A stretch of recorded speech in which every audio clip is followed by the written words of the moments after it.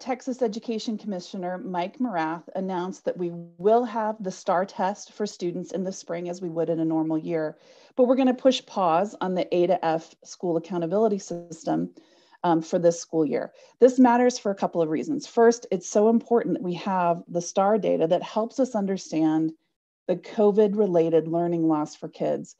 We've all seen the stories, heard about kids who are really struggling or falling behind. We know some districts like Dallas have bravely released, released some diagnostic data that shows some of those gaps as they try to figure out how to solve for them.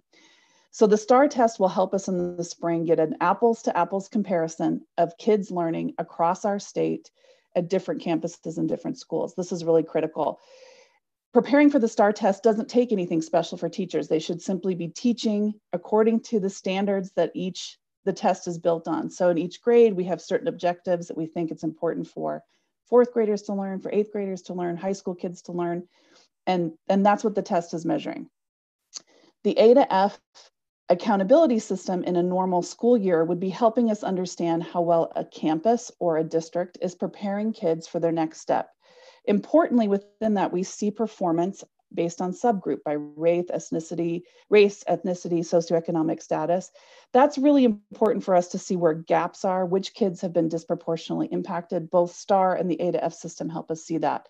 Because of the massive disruptions, thanks to COVID-19, that accountability system doesn't really match as well with the work that's been happening on campuses. So it makes sense to pause it this year but certainly not to abandon it. And I'm really glad that the Commissioner Morath listened to the superintendents who sent a letter, public letter a couple of weeks ago, asking him to keep the STAAR test in place so that they could have this common state exam to help understand learning, what learning has really looked like in the COVID era.